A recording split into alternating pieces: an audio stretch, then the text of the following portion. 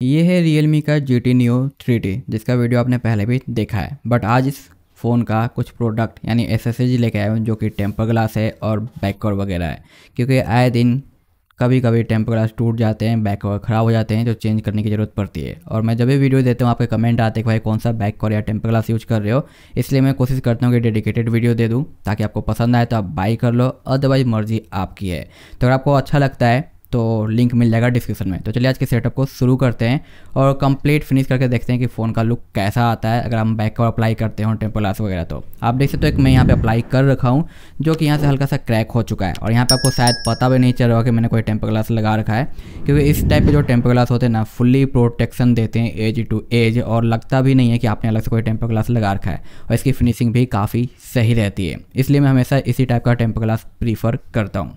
तो पहले मैं इसे रिमूव करूँगा, उसका क्लीन करेंगे और जो नया टेम्पर ग्लास है वो अप्लाई करेंगे। और यहाँ पे मैंने एक बैक स्किन भी अप्लाई कर रखा है। अगर आप इसके बारे में जानना चाहते हो तो प्लेलिस्ट चेकआउट कर सकते हो। क्योंकि मैं हमेशा रिकमेंडेड करता हूँ टेम्पर ग्लास बैक स्किन उसके बाद बैक कवर मन हो तो लगाओ अदरवाइज़ मत लगाओ। क्योंकि जब आप बैक कवर अप्लाई करते हो ना तो अंदर डस्ट चले जाते हैं और वो आपके बैक पैनल पे बहुत ज़्यादा स्क्रैच डाल देते हैं जो कि ठीक नहीं होते और एक्सचेंज या रीसेल वैल्यू खत्म हो जाती है। तो बैक कवर रखते हो या नहीं, मर्ज़ी आपके, लेकिन बैक स्किन इंपॉर्टेंट है, चाहे आप लोकल लगा लो या कोई अच्छा प्रीमियम कैटेगरी का लगा लो, मर्ज़ी आपकी है।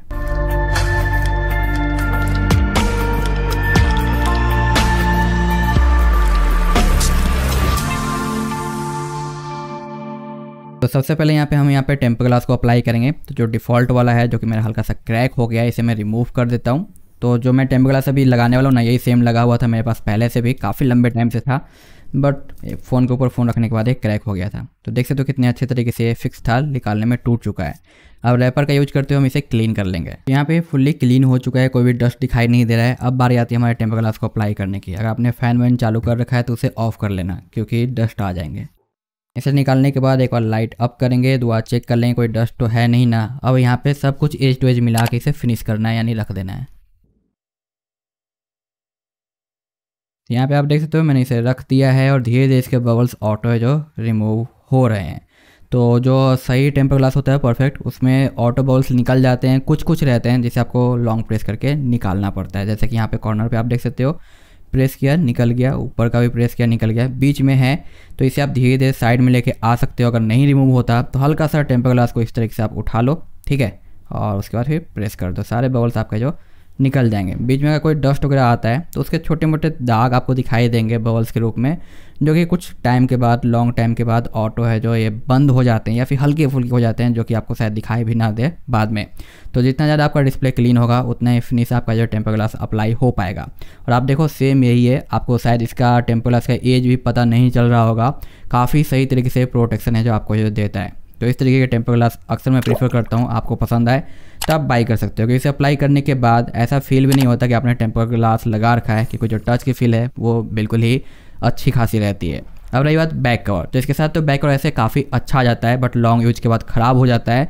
तो आप चाहो तो चेंज कर लो अदरवाइज़ मैं तो ज़्यादा यूज़ नहीं करता, नहीं प्रीफर करता हूँ बैक कवर लेकिन अगर आपका फ़ोन गिरता रहता है तो आप लगा सकते हो अलग अलग टाइप के आपको अलग अलग कैटेगरी के जो बैक और मिल जाएँगे इनके साइट्स के ऊपर, जिसका लिंक आपको मिलेगा डिस्क्रिप्शन में तो वहाँ से जाके आप बाई कर सकते हो। तो ये अभी फ़िलहाल बैक कवर है वाइट कलर का, जहाँ पे आप देख सकते हो किस तरीके से कट बनाए गए हैं कैमरा वगैरह का तो इसे हम अप्लाई कर लेते हैं। तो यहाँ पे बस रखना है और हल्का सा प्रेस कर देना है। ये हो गया पूरा फिनिश तो कुछ इस तरीके से आपको लुक दिखाई देगा आपके फ़ोन का। जब आप बैक कवर अप्लाई करते हो तो आप चाहो तो डिफरेंट बैक कवर भी पिक कर सकते हो। यहाँ पे ये पावर टर्न जो कि बिल्कुल ही सॉफ्ट है। और उसके बाद आपको यहाँ पे देखने को मिल जाता है वॉल्यूम रॉकर्स जो कि ये भी सॉफ्ट है, क्योंकि बहुत सारे कवर के जो वॉल्यूम बटन्स वाले होते हैं ना एरिया वो काफ़ी ज़्यादा हार्ड रहते हैं, जिसकी वजह से आपका फ़िज़िकल बटन डैमेज होने का चांस रहता है, क्योंकि पर्सनली मेरे साथ ऐसा हो चुका है। तो जब भी आप कोई बैक और बाई करते हो ना तो उसमें ज़्यादा कुछ चेक मत करना, लेकिन आपके बटन्स जो है वो चेक कर लेना कि सॉफ्टली प्रेस हो रहे हैं या फिर एक्स्ट्रा फोर्स देना पड़ रहा है प्रेस करने के लिए। अगर एक्स्ट्रा फोर्स देना पड़ रहा है तो ऐसे बैक कवर से आप दूर ही रहना। बाकी यहाँ पर आप देख सकते हो सारे कट बिल्कुल ही परफेक्ट है, कहीं पर भी ऑड टाइप का कट नहीं मिल जाता है। तो यही था एक छोटा सा कि एस एस सेटअप का वीडियो अगर आपको पसंद आया तो आप बाई कर लेना। और हाँ आप कोई भी टाइप का बैक और अप्लाई करते हो तो ये जो मैंने टेम्पर ग्लास लगाया ना, ये परफेक्टली रहता है। ऐसा नहीं कि रिमूव हो जाएगा तो उसके लिए टेंशन मत लेना। Okay thanks for watching bye